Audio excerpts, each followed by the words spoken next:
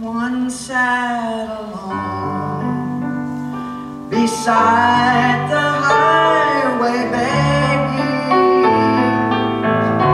His eyes were blind, the light he could not see.